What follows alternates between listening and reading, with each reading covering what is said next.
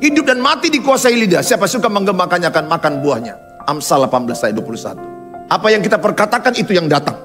Tetapi pakailah perkataan yang baik untuk membangun. Sehingga di mana perlu supaya mereka yang mendengarnya beroleh kasih karunia. Sehingga kalau orang mendengar mengomong, orang dikuatkan. Orang dibangunkan, orang disemangatin. Coba engkau ketemu saya. Kujamin lima menit semangatmu tambah. Kujamin.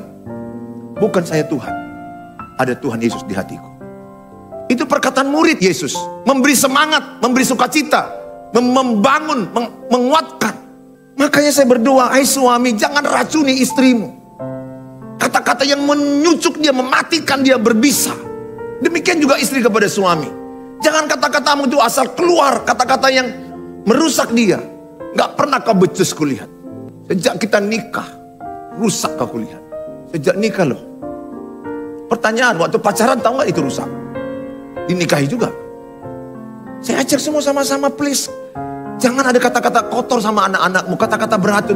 Jangan satu kata pun kata-katamu menyakiti orang.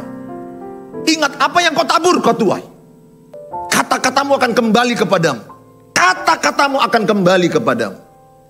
Itu hukum perkataan. Amsal 18 ayat 21. Hidup mati dikuasai lidah. Siapa suka menggemakannya makan buahnya.